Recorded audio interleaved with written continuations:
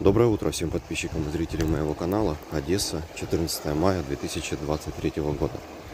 Ночь сегодняшняя в Одессе была очень тревожной. У нас было две воздушные тревоги. Об одной я сообщал на своем канале еще вчерашних вечерних видео. Началась она в 22.11. Отбой дали в 00.06. Э, Следующая воздушная тревога началась уже практически в 3 часа ночи, в 2.49. Длилась она на протяжении долгого времени. Отбой дали в 5.32. Напомню, была информация еще в районе 10 часов вечера. э, Сообщали о взлете 7 бортов стратегической авиации, бомбардировщиков Ту-95. И сообщали о том, что в зоне пуска они будут в районе 2-3 часов ночи. Вот как раз без 15.3 объявили масштабную воздушную тревогу по территории нашей страны из-за пуска ракет как раз таки с этих стратегических бомбардировщиков.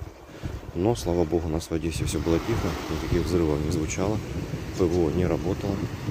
Вот и по информации официальной, которая известна на сегодняшнее утро, ни в Одессе, ни в Одесской области за прошедшую ночь прилетов нет.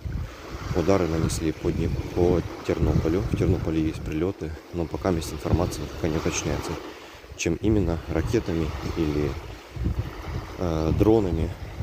Во время первой воздушной тревоги сообщали о пуске калибров с моря, что именно калибрами ударили по Западной Украине. Но пока есть официально еще ничего не сообщалось. Сколько было выпущено ракет, сколько сбили, сколько попало, пока есть информации никакой нет. Я на связи, как информация будет обновляться, сразу буду сообщать. Всем мирного неба, хорошего дня. Подписывайтесь на канал, до встречи, пока.